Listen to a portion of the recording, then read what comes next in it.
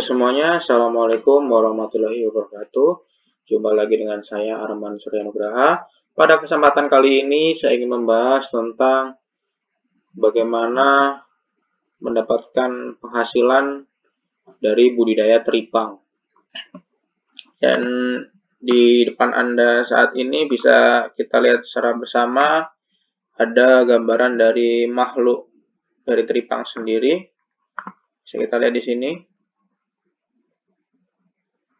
Dan teripang ini memiliki banyak sekali manfaatnya dan saya akan membahas pada kesempatan kali ini.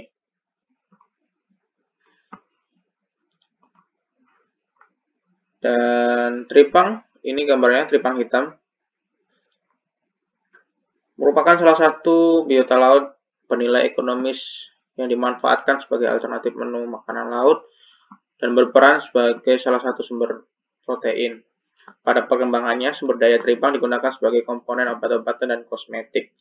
Tingginya permintaan teripang, terutama di, As di pasar Asia, memicu menurunnya populasi teripang di alam. Hal ini karena banyaknya nelayan yang menangkap teripang di alam secara langsung dan terus-menerus. Selain itu, pengambilan teripang mudah menjadi salah satu penyebab terhambatnya proses regenerasi. Dalam sejarahnya, perikanan teripang adalah satu sumber mata pencaharian masyarakat pesisir. Untuk itu perlu adanya upaya untuk menjaga kelestarian populasi teripang. Kegiatan budaya teripang merupakan salah satu solusi untuk mengatasi permasalahan tersebut, terutama dalam hal eksploitasi berlebih di alam. Minimnya informasi mengenai cara budidaya yang benar, cara restocking, cara permanenan, pemanenan, dan pasca panen mendorong pentingnya dilakukan kegiatan penelitian budidaya teripang.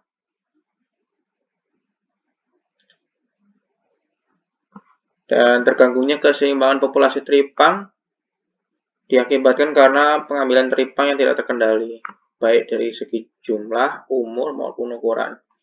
Untuk mengantisipasi turunnya populasi teripang, maka perlu dilakukan kegiatan budidaya teripang.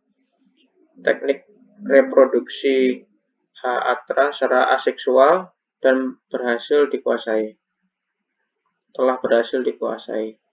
Dalam teknik tersebut, satu individu teripang bisa menjadi dua atau tiga individu.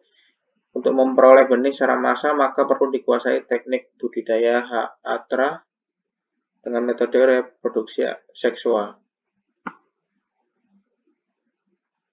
Teripang merupakan golongan hewan air laut tak bertulang belakang yang mampu menghasilkan metabolit sekunder dan mempunyai aktivitas biologi yang cukup penting. Studi awal di bidang farmakologi pada ekstrak H. atra menunjukkan bahwa teripang jenis ini merupakan sumber potensial metabolit bioaktif yang dapat digunakan dalam industri farmasi. Selain itu, mempunyai kandungan antioksidan yang efektif seperti antiinflamasi, analgesik, antipiretik, dan aktivitas imunomodulator. Produk alami yang dapat meringankan toksisitas hepatorenal dan juga mengandung senyawa bioaktif seperti flavonoid, pengawet alami, komponen fenolik, terpenoid, saponin, dan alkaloid. Dan ini gambaran teripang ketika ada di habitatnya di dasar laut, di dasar apa pasir laut dan tripang ini menyedot pasir laut dan akan dibuangnya sehingga bermanfaat untuk menggumburkan pasir laut ini supaya tidak mengeras.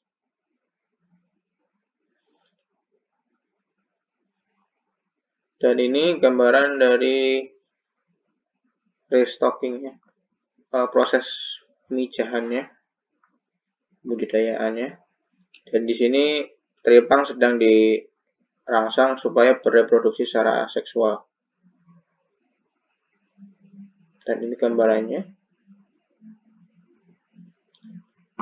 Dan mengapa tripang ini bisa menjadi langka? Karena harganya sangat fantastis. Bisa kita lihat di sini untuk harganya harga jual akhir tripang pasir kering untuk konsumen berada pada kisaran yang relatif tinggi dengan rata-rata 300 US dollar per kilogram dan mencapai 1668 kg untuk kualitas premium. Ya, cukup fantastis saja. Bisa kita lihat di sini. Harga jualnya aja mahal sekali. Apabila sudah menjadi olahan, bisa sangat mahal sekali dan ini bisa menjadi peluang bisnis. Dan tripang ini istilah yang diberikan untuk hewan invertebrata tanpa tulang belakang yang dapat dimakan. Dan ini terdapat di zona pasang surut sampai laut yang dalam terutama di Samudra Hindia dan Samudra Pasifik dan itu ada di Indonesia juga.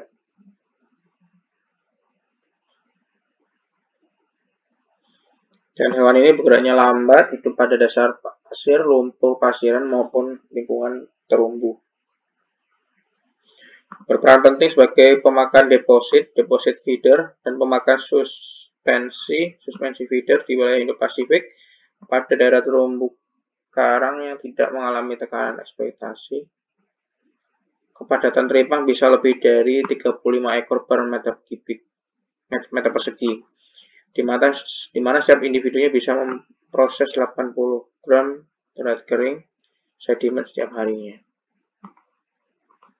Dan bisa kita lihat di berita di BBC ini, di BBC ini, Indonesia penghasil teripang terbesar di dunia tapi teripang kini sudah ditemukan. Hal ini kenapa? Karena sebagian besar teripang yang ada di Indonesia ini masih diperoleh dengan cara mengambil langsung ke dasar laut. Dan untuk harganya bisa mencapai 800 ribu per kilogram. Untuk satu onnya 80 ribu. Dan bisa juga apabila keringnya mencapai harga 2 juta sekilo. Namun apa sih yang mendasari mahalnya harga teripang ini dan ada ada manfaat dari teripang ini yaitu untuk kesehatan bisa meningkatkan sistem kekebalan tubuh karena mengandung asam amino seperti glisin dan asam glutamat. Rasanya pasti sangat gurih teripang ini. Dan menjaga kanker karena memiliki antioksidan zatnya. Tripang mengandung glikosida triterpen yang memiliki aktivitas anti tumor. Selanjutnya menjaga kesehatan kardiovaskular. Sekitar 6 ons teripang sudah memenuhi asupan protein minimum harian yang dibutuhkan dan dapat mempercepat penyembuhan luka. Ini yang mendasari alasan mengapa teripang itu sangat mahal karena sering dicari.